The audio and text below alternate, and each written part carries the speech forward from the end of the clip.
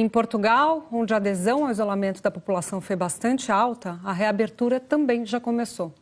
A política de combate à pandemia do novo coronavírus no país é uma das mais elogiadas pela Organização Mundial da Saúde.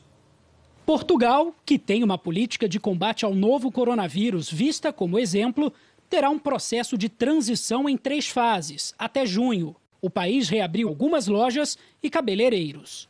O uso de máscara é obrigatório em ambientes públicos fechados. Faz parte da nova vida que nós vamos ter. Estar no cabeleireiro com máscara e de luvas, eh, pronto, hoje foi a primeira vez, mas é, é o início, é o início de uma, de uma fase.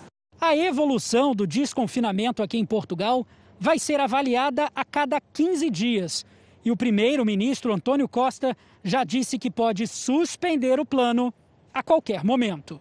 Nunca terei vergonha de dar um passo atrás, se isso for necessário, para garantir esse bem essencial que é a segurança dos portugueses.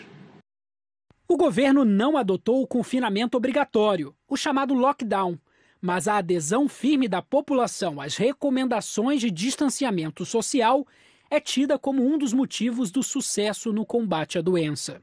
Logo no início da pandemia, muitas empresas adotaram o trabalho de casa e o país fechou as escolas e a fronteira com a Espanha. Portugal registra 25 mil casos de Covid-19 e mil mortes. Na vizinha Espanha, as mortes passam de 25.400.